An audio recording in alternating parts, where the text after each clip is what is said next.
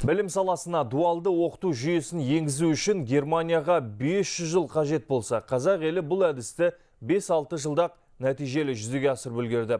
Қазақстандағы оқытудың осы түрі бүгінде өз жемісін бере бастады. Бұл неміс сарапшысы Райнер Герцтің пікірі.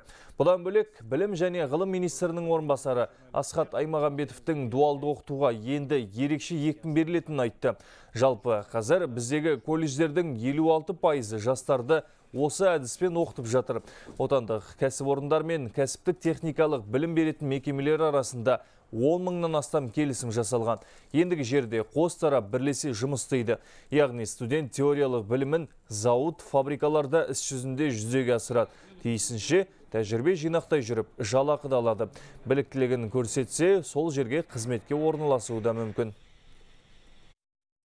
Обучающиеся э, на производственной практике по дуальной технологии. Дуалды оқыту бойынша кәсіпорында өндірістік тәжірибеден өткен студенттің осы мерзімдегі еңбек өтілі есептеледі. Тіпті оларға 16 мен 100 мың теңге аралығында жалақы тағайындалады. Өндіріс орнындағы жаңа технологияны жастарға үйрететін тәлімгерлерді де оқытуды көздеп отырмыз. Және студенттерді үйреткені үшін оларға да еңбек ақы төленеді.